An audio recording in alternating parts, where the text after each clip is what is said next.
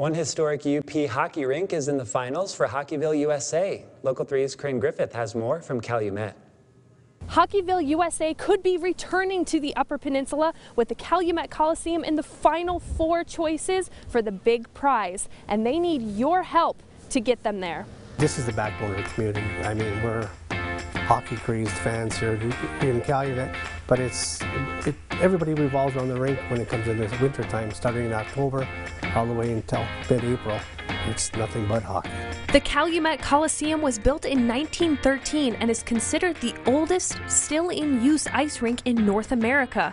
For over 100 years, the Coliseum has played host to thousands of hockey games.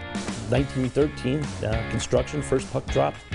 1914, we've been dropping pucks continuously every hockey season since then. That's, that's a lot of puck drops. And now, 106 years after its construction, the Calumet Coliseum could be named Hockeyville, USA. All you need to do is go online and vote starting Saturday at 7 a.m. until Sunday at 11 a.m. It doesn't matter where you're from, the more votes the better, and that's what we're asking for is the public to come out and vote vote and support us to win this so we can do some upgrades in the building. This isn't just Calumet. You know, this is just not the copper country. It's it's the whole UP.